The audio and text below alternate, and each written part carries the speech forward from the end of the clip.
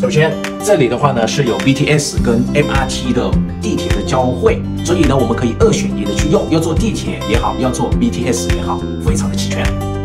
上一期三十五平的，如果你觉得有一点小，那今天就给大家看一下五十七平的两个卧室，足够一家庭使用。上一期三十五平给大家讲了这套公寓呢，它的生活多么舒适。那今天的话呢，就借五十七平的来给大家讲一下交通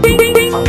二的话呢，离我们泰国最大的摩切汽车站也是非常的近，就十分钟的路程，我们可以在这里呢坐汽车到泰国的每个府。第三，离邦苏东南亚最大的火车站也是非常的近，以后的话呢，我们可以直接到老挝或者是到我们中国昆明、云南都没问题。最后呢，也可以坐上机场快线直达廊曼机场，我们也可以回家或者是去其他国家玩都没问题的。网红的空中花园。